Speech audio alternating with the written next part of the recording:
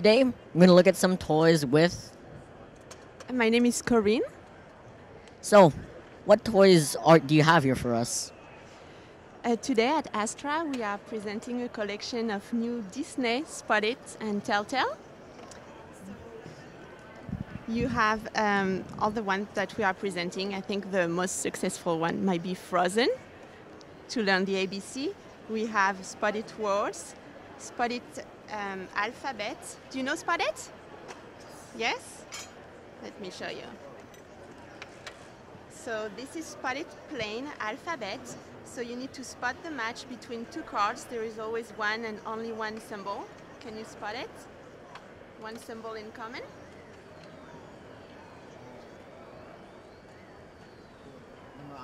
Yes, good job. And we also have uh, Doc McStuffin. This is more for you, Belly. You want to play?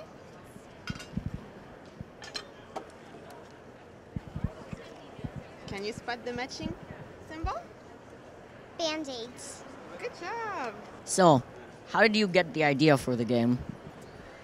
Well, I didn't get the idea, but somewhat someone calculated the low mass formula so that on any two card there is always one symbol in common.